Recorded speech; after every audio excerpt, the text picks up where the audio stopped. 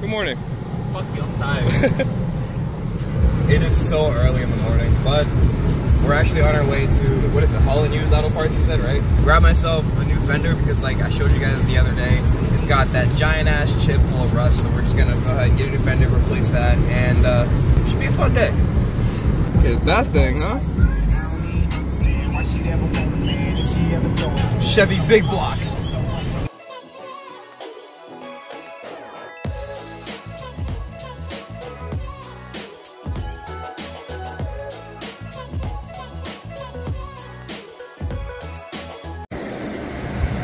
Feels good to be back home.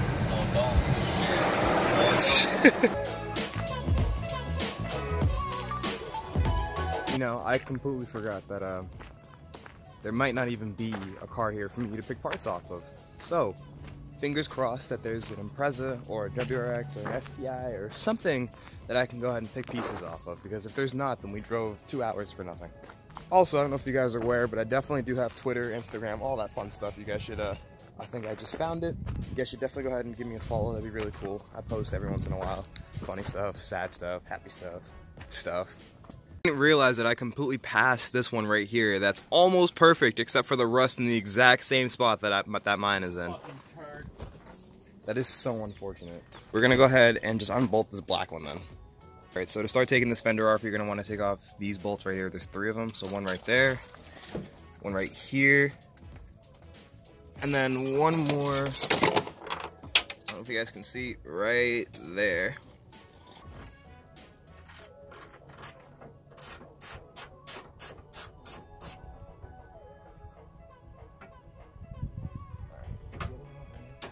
So there, there's also one more bolt that's right here, right on the inside of the door sill. Just trying to see where the last one, right there, at the bottom. Okay. There's a way you can finesse it in there. I think you actually have to take the door off for this one. No, fuck that. I'm gonna take my fucking door off. Always gotta find a way to ghetto rig it.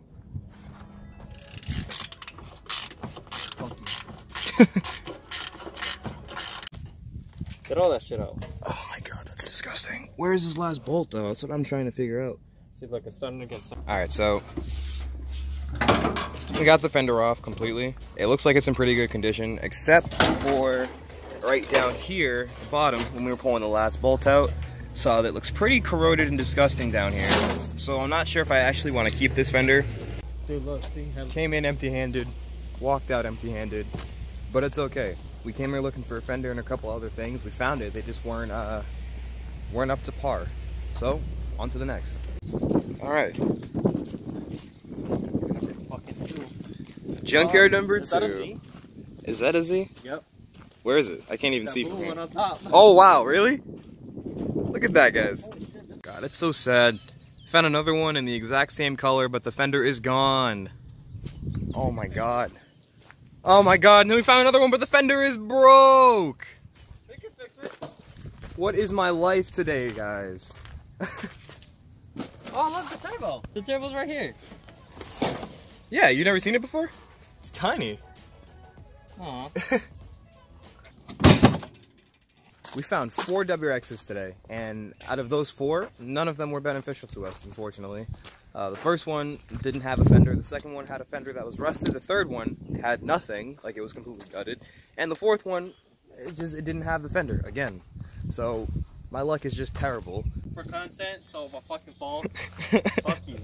I know you'll fucking laugh and shit. this used to be a road. You guys can't see it, but that STI behind us is clean looking.